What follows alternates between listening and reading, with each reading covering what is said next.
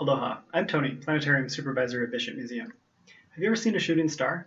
Every time I see one, it's as exciting as the first time. But what are they really?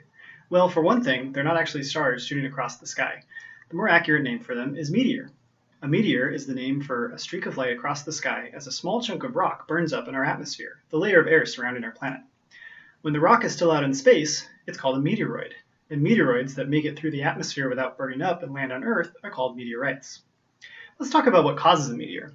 Rub your hands together, fast. What do you feel? Is it getting warm? This force of things rubbing together and heating up is called friction. You may have heard of it before. When a meteoroid is out in space, it's moving very, very fast, but there's nothing in space, not even air. When those rocks come too close to the Earth, they enter our atmosphere going anywhere from 25,000 to 160,000 miles per hour. The faster something is moving, the more energy it has, and that energy of moving turns into heat when there's something to rub against, like when you rub your hands together. Rub your hands together again, but slowly. Now rub them as fast as you can. Which feels warmer, slow or fast? Just like rubbing your hands together faster creates more heat in your hands, a meteoroid moving very fast rubbing against the atmosphere creates a huge amount of heat, enough to vaporize the stuff the meteoroid is made of, which creates a streak of light that we can see and call a meteor. When we see lots of meteors in a short amount of time, we call it a meteor shower.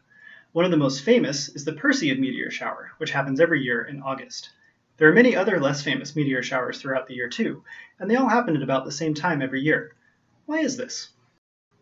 Planets aren't the only things that orbit the Sun. Comets do so as well, but they generally have very long elliptical orbits.